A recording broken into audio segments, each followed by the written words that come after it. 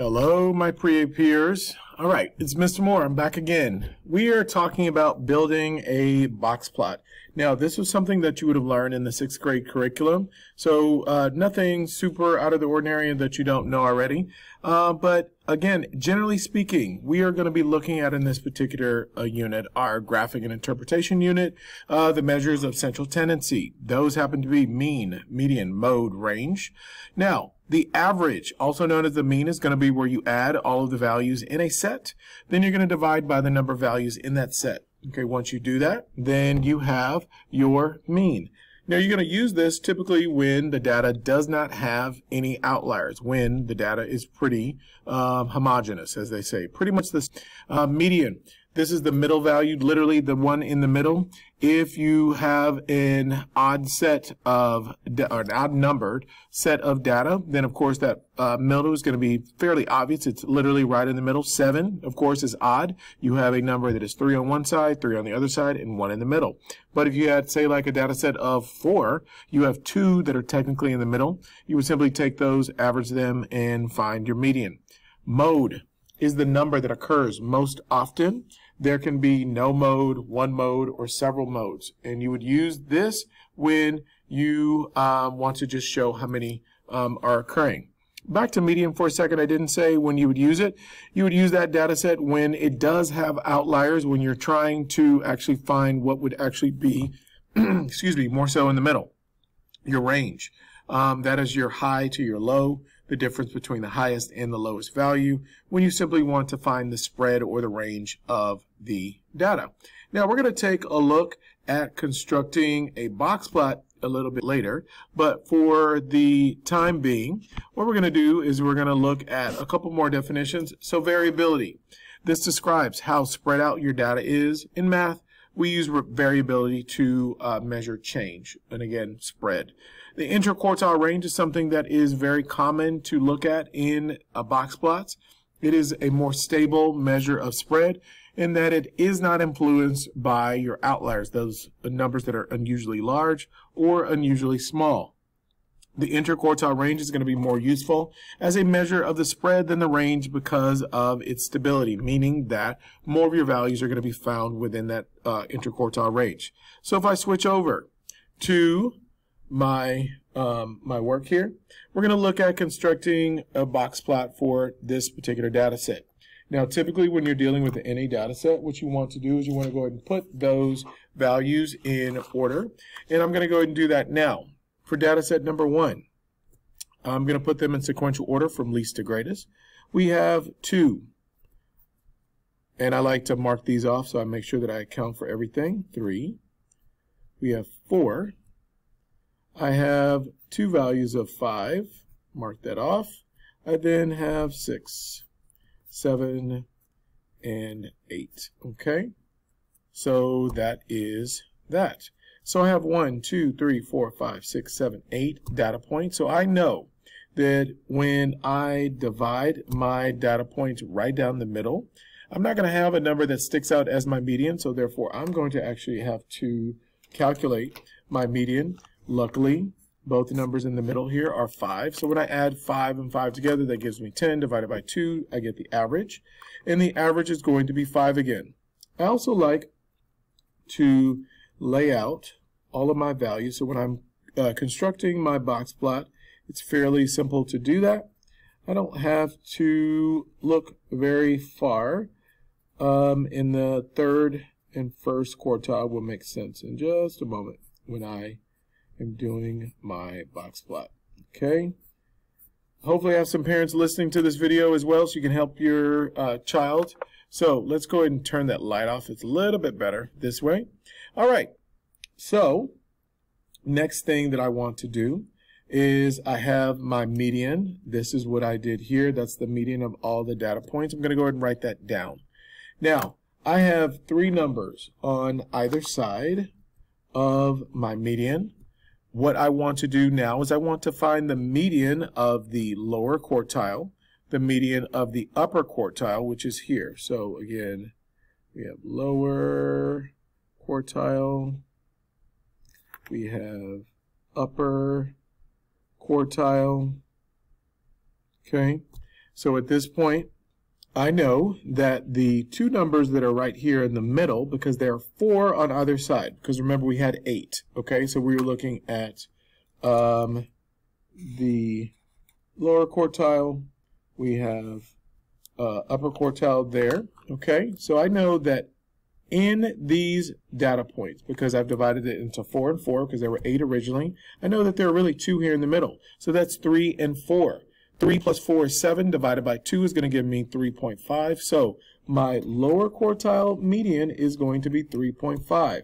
I'm going to do the same thing on this side, where I have 1, 2, 3, 4 values. The numbers that are right here in the middle are 6 and 7. 6 plus 7 is 13. 13 divided by 2 is going to be 6.5. So 6.5 is going to be my third quartile median. Okay, now I know just by looking that my lowest value is 2, highest value is 8. When I start to construct my box plot, what I want to do is I want to use an appropriately sized graph. And I'm going to use all of this data here that I've already compiled and written down. Now, I want to go ahead and label this as, uh, I'm going to, again, make that appropriately sized graph. I want to start this. I'm going to think I'm going to start it at uh, 0. Write it with a pen so you can see it better. One, two, three, five, six, seven, eight, nine. Now, an appropriately sized graph, again, is one that encompasses all of these data points. So starting a little bit above my line, I'm going to start making dots, okay? Hence, the um, the ones that I've identified over here, so dots. So let's go ahead and put a dot here, that's 2. I'm gonna, I'm gonna just follow along, that's 8. I have 5. I have 3.5 or 3.5 there, 6 or 6 point, or 6.5 or 6.5 here. Now, what I want to do at this point, it doesn't quite look like a box plot just yet, but because there's just dots. So I'm going to connect my lowest value to my first quartile. I'm going to connect my highest value to my third quartile. Okay, and now what I want to do is I want to start off by constructing my box. To go up, over, up, over. Okay, so now I'm going to finish it off by connecting my box. So I have a box plot at this point. So the reason that this is important is that this box will show my interquartile range, which we will talk about later in a different lesson. Um, actually, let's go ahead and hit it now. So again, my interquartile range, or IQR, is um, going to be calculated by subtracting my third quartile from my first quartile, which is going to give me an interquartile range of 3, or 3.0 in this case. So if I look here at my data points, I'm going to ask myself, how many of these data points actually fall within this um, interquartile range? So I know that 4 falls in there.